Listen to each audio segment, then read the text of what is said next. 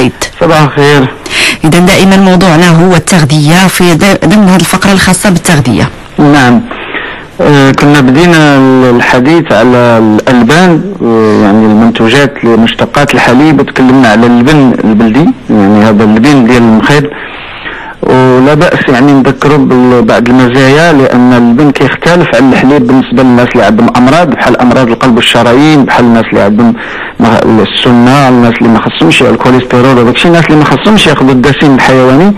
ولكن اللبن كتكون الزبدة زولوها منه يعني ما فيش دسم قليل يعني كيبقى واحد الأثر ديال الزبدة على حسب يعني النساء كيفاش ملي كيصايبوا هذاك اللبن كيفاش واش كيصفيوه ولا غير كيجمعوا الزبدة بيديهم ولا بشي حاجة. يعني كيبقى واحد شوية ديال ديال ديال الزبدة يعني ما كيضرش. نعم. جوج حتى يعني جوج حتى لثلاثة الجرامات حتى لخمسة الجرامات يعني في الليتر ديال اللبن ما يعني ما تضرش. اللبن آه، كيلاحظوا الناس يعني الحموضة ديالو أن في حمض اللاكتيك وأن هذاك السكر آه، كيكون تهضم شي شوية. حتى الناس اللي عندهم مشكل ديال اللاكتوز اللبن ما كيديرش لهم إزعاج بحال الحليب.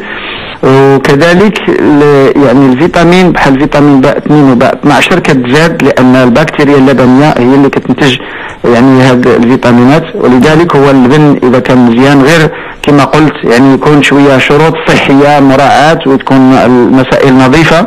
هو يعني جيد للاطفال لماذا؟ لأن هذه المكونات ديال الفيتامين باء 2 وباء 12 كذلك مكون الكالسيوم لأن الأطفال محتاجين الكالسيوم بكثرة. والكالسيوم فوسفور هو يعني ديال اللبن كيتمتص يعني بسهولة وبسرعة لأنه على شكل phosphocaséinate هو كالسيوم عضوي. كاين آه، مشتقات أخرى يعني كثيرة كانوا الناس كيوجدوها مع الأسف الشديد.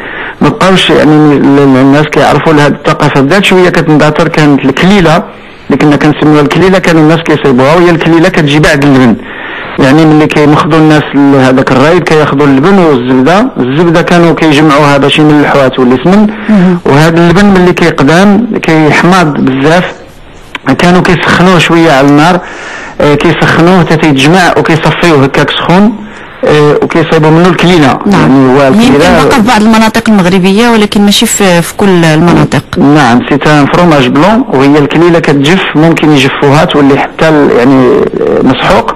علاش؟ لأن ما فيهاش دسم هذا المنتوجات الحليب ما يمكنش يجفوها ولكن الكليلة ممكن تجفف غير يعني يفرقوا هذه يديهم يديروها في شي طبق ولا شي حاجة ويديروها في شي مكان شي يغطيوها بشي زيف باش ما يعني توسخش بالغبار.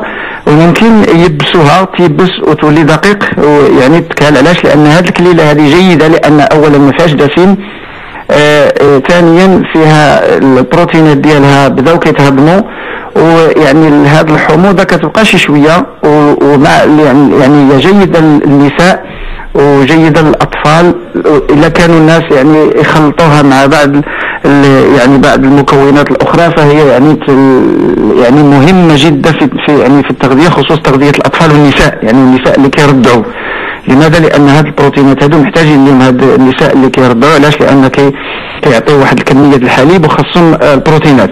يعني هاد الكليلة كانوا الناس كيخلطوها مع بعض الأشياء بحال مثلا المناطق الجنوبية كانوا كيخلطوها مع التمر مطحون وكتولي يعني أحسن آه، ما يمكن الواحد ياخذه. علاش؟ لأن كتزادوا الألياف ديال التمر مع السكريات ديال التمر كيتزادوا على المكونات الحليب. وهذا شيء جديد كاين واحد المنطقة دوجدة كانوا تا هما كيديروها مع التمر يعني وجده كيديروا الزبدة البلدية مع التمر يعني كيسموه الأقيط.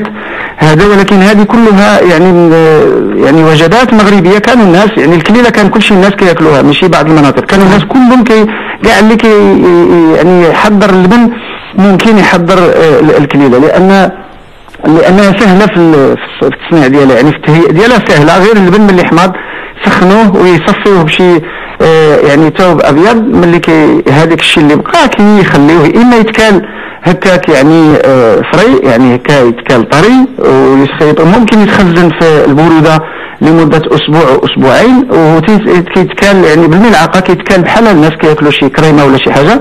وهو آه، كما قلت يعني جيد غير علاش؟ لأن كتكون في واحد الحموضه مزيانه وما كيكونش فيه الدسم. يعني الدسم كيقهن الناس ما كيخليهمش ياكلوا.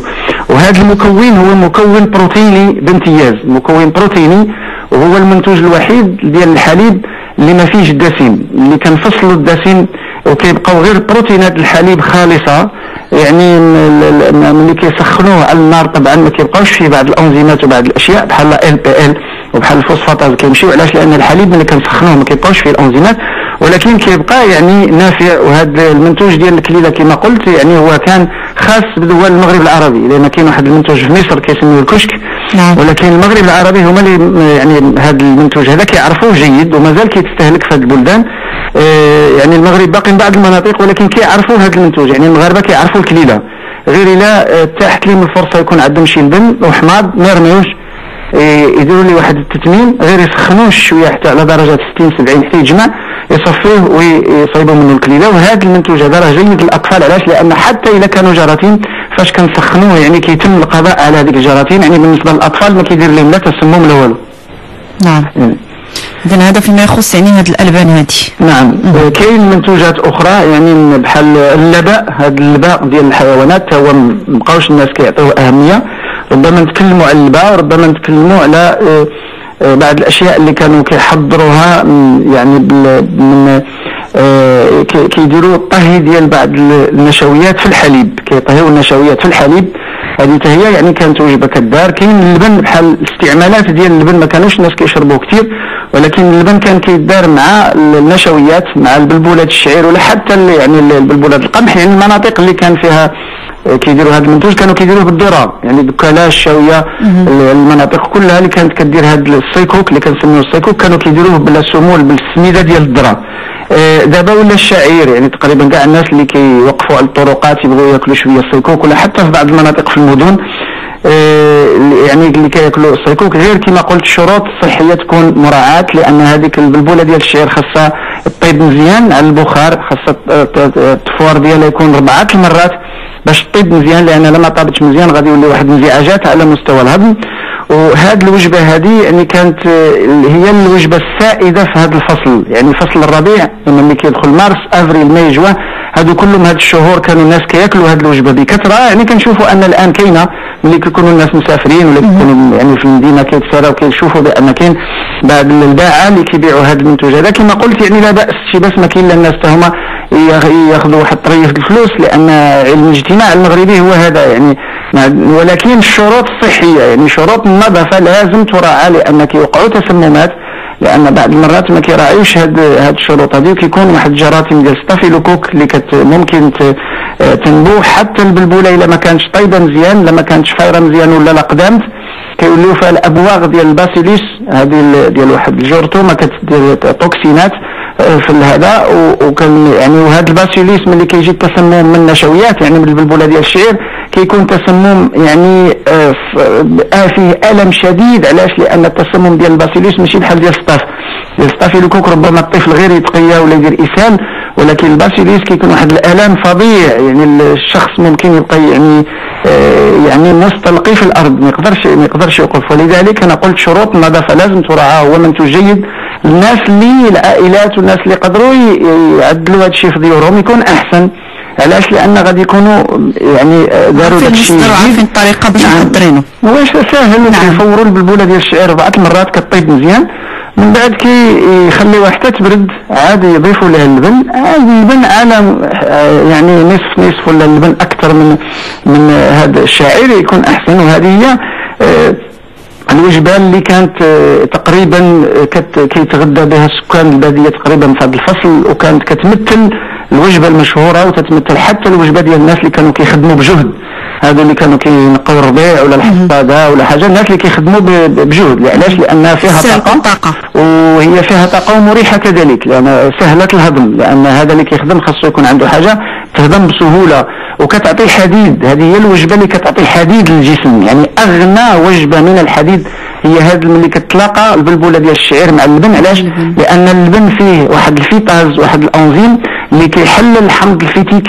ديال الشعير وكيطلق يعني كيحرر هذاك الحديد والكالسيوم والمغنيسيوم والمنغنيز. كل هذه الأملاح الثنائية كلها كتحرر ولذلك يعني يعني الامتصاص ديال الحديد كيكون اقصاه هو في هذه الوجبة هذه ديال ملي كيجتمعوا النشويات مع اللبن هذه الوجبة اللي كنسميوها حنا باللغة ديالنا السيكوك. وما يعني بحثنا على حتى هذه التسميه ما لقيناهاش ما لقينا لا بالأمازيغية ولا بالعربية ما لقيناش هذا الاسم نينجا. نعم. ربما يكون يعني اسم محلي ولا حاجة وتداول ولكن معروف يعني أصبح معروف آه إحنا نسميو الأشياء بمسمياتها باش الناس يفهموا لأن ما غنتكلموش العلم آه نتكلموا بلغة أخرى من العليين. وهاد هاد الوجبة كما قلت الا راعوا الناس شروط النظافة فهي أحسن آه، وجبة لأن كيجتمعوا فيها النشويات ومنتوجات الحليب. نعم، شكرا جزيلا لكم دكتور محمد الفايد الأستاذ بمعهد الحسن الثاني للزراعة والبيطرة لقاءنا بك يتجدد يوم غد بإذن الله. إن شاء الله.